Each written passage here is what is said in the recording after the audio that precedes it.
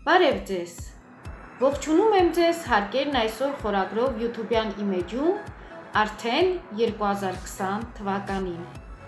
Այսօր ես կխոսեմ 2019 թվականը եզրափակող թեմայի երկրորդ մասի մասին։ Դա գույքահարկն է։ Այս անգամ անշարժ գույքի գույքահարկը։ Կարծում եմ, որ ձեզ բոլորին կհետաքրքրի, թե որքան գույքահարկ եք տարեկան դուք վճարում ձեր բնակարանների կամ այլ տիպի անշարժ գույքի համար։ 17-րդ դարում ապակու արտադրությունը բավականին թանկ ձեռնարկ էր։ Բոլորը չէին, որ օգտագործում էին այն պատուհանների մեջ։ Ոստի ապակե պատուհանների հարկը, որը ներմուծվեց 1696 թվականին արքա Ուիլյամ III-ի կողմից, ըստ էության շքեղության հարկ էր։ Շուտով սակայն մեխանիզմն սկսեց լայնորեն կիրառվել, օգտագործվելով նաև հասարակության լայն զանգվածների կողմից, եկամուտ բերելով երկիր։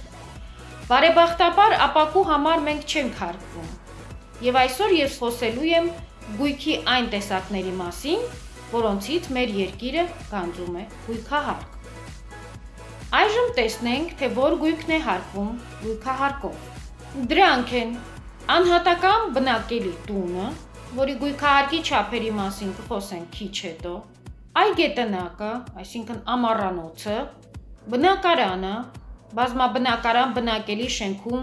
ֆիզիկական անձանց համար նախատեսված, ընդհանուր բազմաբնակարան բնակելի շենքը, բազմաբնակարան շենքի ոչ բնակելի տարածքը, ավտոտնակը, հասարակական նշանակության շինությունը, իսկ ո՞րն է դա։ Հասարակական նշանակության շինությունը դա բնակչության սոցիալական սպասարկման, ինչպես նաև հասարակական կազմակերպությունների կամ վարչական կազմակերպությունների տեղակայման համար նախատեսված շինություն է։ Միանգամից ասենք, որ այս շինությունների համար այսինքն հասարակական նշանակության շինությունների համար տարեկան գույքահարկը հաշվարկվում է կադաստրային արժեքի 0.3%-ի չափով։ Գույքահարկով հարկվում է նաև արտադրական նշանակության շինությունը։ Իսկ դա էլ արդյունաբերության համար անհրաժեշտ պայմաններն ապահովող շինությունն է, այսինքն գործարանների տարածքները։ Նրանց նույնպես տարեկան գույքահարկը հաշվարկվում է նրանց կադաստրային արժեքի 0.3%-ի չափով։ Նշենք, որ արտադրական նշանակության շինություն է համարվում նաև գյուղատնտեսական արտադրությունների համար անհրաժեշտ պայմաններն ապահովող շինությունը, որոնց համար տարեկան գույքահարկը նույնպես հաշվարկվում է կադաստրային արժեքի 0.3%-ի չափով։ Գույքահարկով հարկվում են նաև անավարտ, կիսակառույց շինությունները, որոնց տարեկան գույքահարկը հաշվարկվում է կադաստրային արժեքի 0.2%-ի չափով։ Հարկվող գույքի ցուցակի մեջ են նաև նոր կառուցված կամ նոր ձեռք բերված անշարժ գույքերը, որոնք կադաստրի կոմիտեի կողմից դեռ հաշվառված ու գնահատված չեն կամ գնահատված են, բայց չեն ստացել իրավունքի պետական գրանցում։ Եվ այս պարագայում նրանց գույքահարկը տարեկան հաշվարկվում է հետևյալ կերպ. Եթե դրանք հասարակական կամ արտադրական շինություն են, ապա կադաստրային արժեքի 0.3%-ի չափով։ Եթե հասարակական ամառ կամ արտադրական չեն, ապա կադաստրային արժեքի 0.2%-ի չափով։ Գույքահարկով հարկվում են նաև ինքնակամ կառույցները, եւ նրանց տարեկան գույքահարկը նույնպես հաշվարկվում է։ Եթե հասարակական կամ արտադրական են, ապա կադաստրային արժեքի 0.3%-ի չափով։ Եթե չեն, ապա 0.2%-ի չափով։ Իսկ ինչ գումարից է հաշվարկվում շինությունների գույքահարկը։ Դա այս օրենքով սահմանված կարգով գնահատված շինությունների կադաստրային արժեքն է դրամով արտահայտված։ Այստեղ ուզում եմ կանգ առնել շատ կարևոր մի դրույթի վրա։ Շինությունների գնահատումը կամ վերագնահատումը կատարվում է 3 տարին 1 անգամ անշարժ գույքի կադաստրի կոմիտեի կողմից գնահատման, վերագնահատման տարվա հուլիսի 1-ի դրությամբ հաշվառված տվյալներով։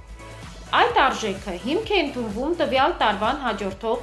3 տարիների համար որոշ բացառություններով։ Բացառության օրինակներ են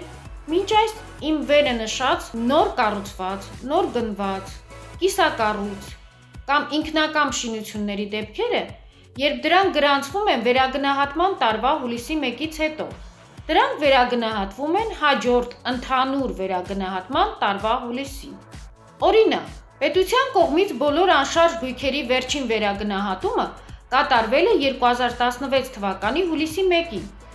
եւ հաջորդ վերագնահատումը պետք է կատարվի 3 տարի հետո,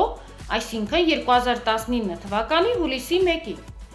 Հիմա համարենք, որ դուք անշարժ գույք եք գնել 2018 թվականի օգոստոսի 5-ին։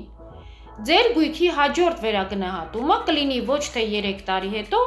այլ 2019 թվականի հուլիսի 1-ին, ինչպես բոլորինը։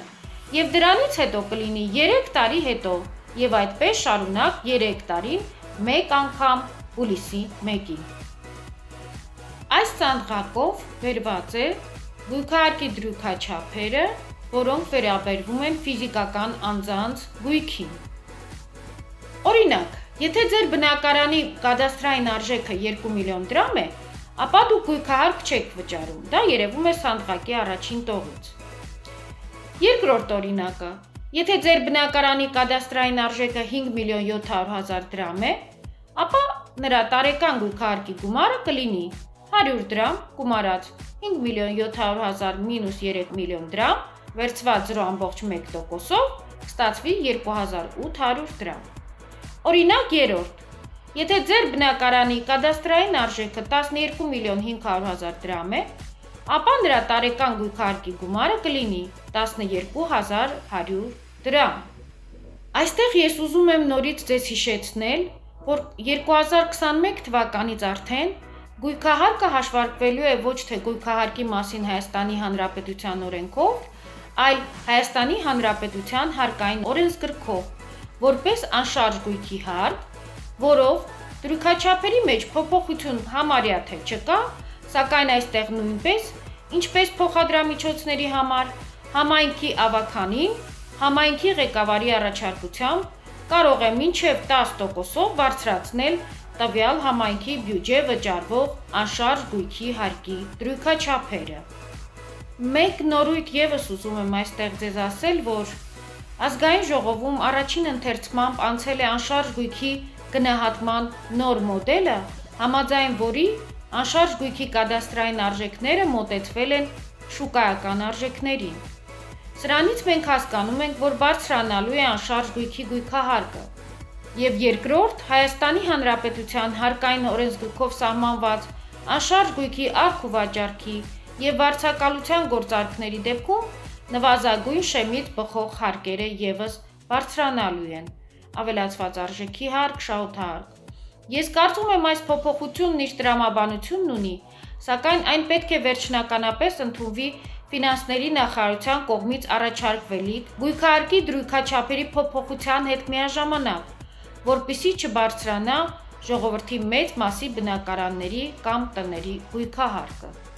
Սպասենք նոր լուրերի։ Շնորհակալություն ուշադրության համար։ Հաղորդումն ունի ճանաչողական բնույթ եւ հուսով եմ, որ ինֆորմացիան, որը դուք ստացաք, հետաքրքիր էր եւ օգտակար։ Բաժանորդագրվեք YouTube-յան իմ այս ալիքին, գրելով այնտեղ հարկերն այսօր բարերը եւ յուրաքանչյուր չորեքշաբթի կստանաք նոր տեղեկատվություն Հայաստանի Հանրապետությունում գործող հարկերի, ինչպես նաեւ նրանց հետ հարակից ոչ պակաս կարևոր ինֆորմացիայի մասին։ Կոմենտներում գրեք ձեզ հետաքրքրող թեման եւ այն կընդգրկվի հետագա հաղորդումներից մեկում։